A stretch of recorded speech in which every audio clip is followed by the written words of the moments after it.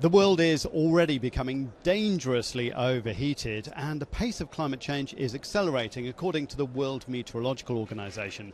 They just released their latest Global State of the Climate report for 2024, showing that the past decade was the warmest on record. And it's exactly what scientists had predicted, according to Director General Celeste Saulo. Está siendo más acentuado de lo esperado, pero no es una sorpresa y tenemos que reconocer que los científicos y científicas marcaron esto desde hace muchos años, más de 30 también, y que lo que es una sorpresa es la lentitud para reaccionar. The UN's weather experts say that we are already at 1.3 degrees of warming compared to the pre industrial average, and we are already seeing unprecedented sea surface temperatures, melting at the ice caps, droughts, and of course floods like we saw in Spain.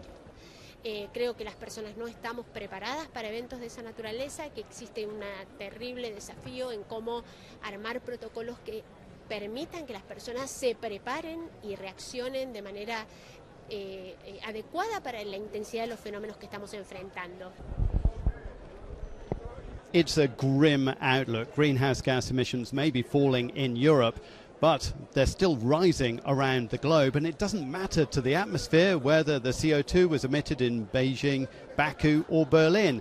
More heat trapping gases in the atmosphere means more warming for everyone, and that's the bottom line.